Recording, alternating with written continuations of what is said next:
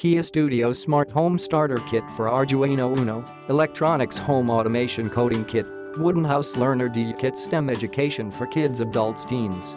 This smart home starter kit is an all-in-one bundle for Arduino beginners to fast experience and build fun projects.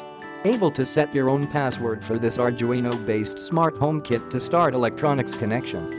The home automation system kit comes with an R3 control board, sensor shield and hundreds of sensors actuators such as LED, buzzer, relay, button module 1602i2c LCD module, gas detection module, bringing endless possibilities to your applications.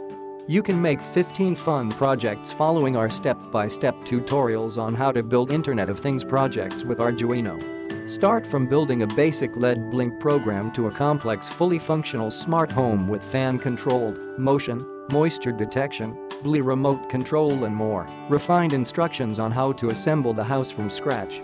All the necessary programs and codes, software and driver installation files are included. The assembly is relatively easy.